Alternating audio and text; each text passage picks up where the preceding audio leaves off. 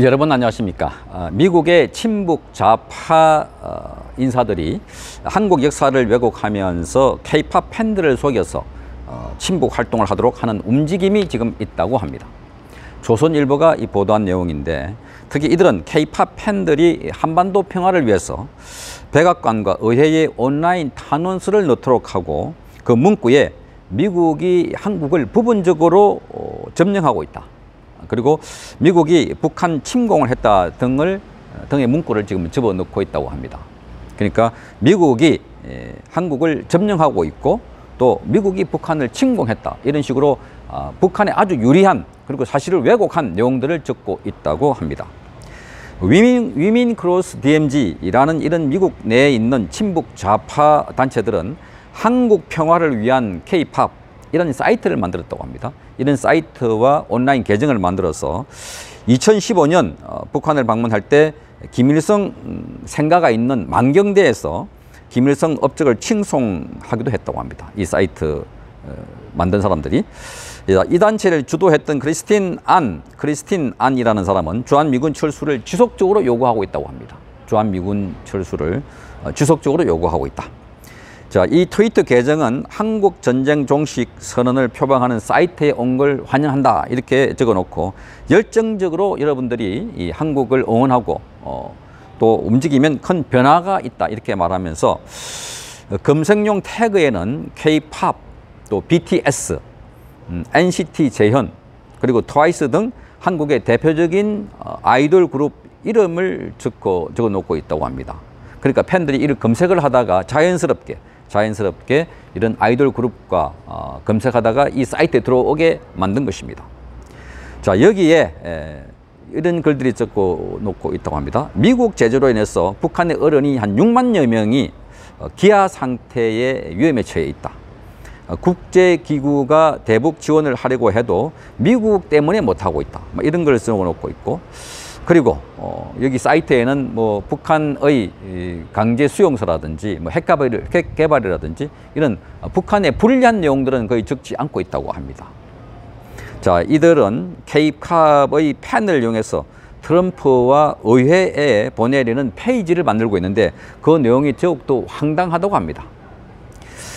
어, 종전 선언을 촉구하는 탄원서를 이제 연결을 시키고 있는데 탄원서는 영문과 한글로 되어 있는데 이런 걸도 있다고 합니다.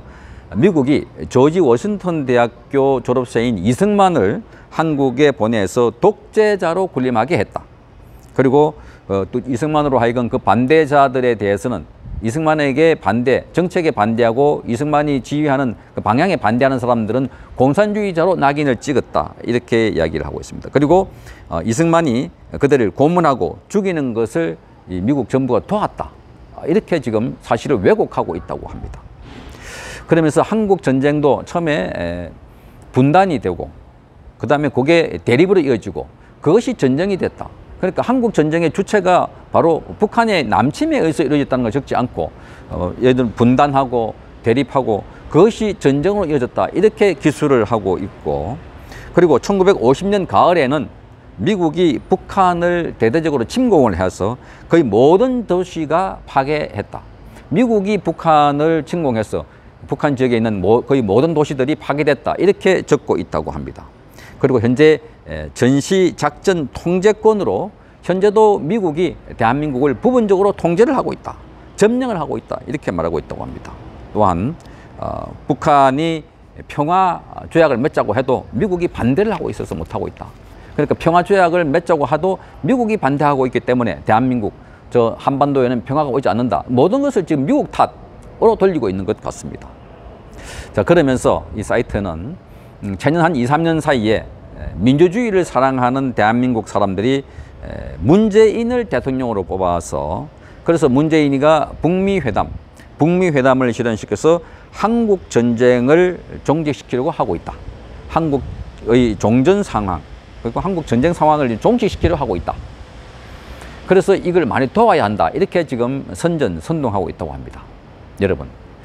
이제 국내 언론뿐만 아니라 해외에 있는 유명한 사이트까지 우리 케이팝 가수들, 어, 걸그룹, 뭐 이런 어, 케이팝 어, 유명한 가수들까지 동원해서 지금 선전에 쓰고 있는 것입니다. 정말 선전 선동에 아주 능한 사람들입니다. 이 팬들을 속여가지고 어, 북한에게 일방적으로 유리하고 남한을 비하하고 어, 그리고 어, 북한 정책을 동조하는 그런 청들을 해외적으로 많이 만들고 만들려고 하는 것이 아닌가. 정말 위험합니다. 이제 국내 언론을 다 조- 장악하고 또 문화계도 장악하고 이것들이 이제 밖에 나가서 지금 K-팝, K-팝 어, 팬들까지 속여서 지금 친북 활동을 하고 있는 이 모습을 보니까 정말 여러분 어떻게 생각하십니까? 우리가 정신을 바짝 차리고 어, 이 적극적으로 대응하지 않으면 지금 안팎에서 안에는 이미 거의 다 장악이 됐고 밖에서까지도 어, 거의 이 K-팝이라고 하는 전 세계적인 인기 있는 이런 어, 가수들을 이용해서 지금 음, 선전 선동을 하고 있는 것이 아닌가. 어, 우리 국민 모두가 한 사람 한 사람이 돼서 올바른 역사와 진실을 가리키는 알려주는 어, 역사 그 역할을 담당해야 될 것 같습니다.